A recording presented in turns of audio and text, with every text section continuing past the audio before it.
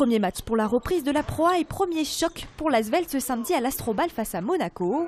Avec une équipe remaniée à plus de 60%, les résultats lors de la pré-saison pour la Green Team ont été mitigés, malgré une belle victoire contre Le Mans mardi dernier pour le match des champions.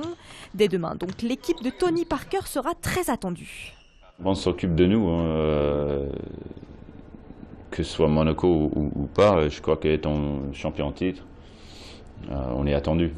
Donc on va essayer d'être très exigeant de nous-mêmes, peu importe le niveau des autres. Et le niveau pour ce premier match risque d'être très élevé. Monaco a réalisé un recrutement conséquent pendant l'été et vise le titre.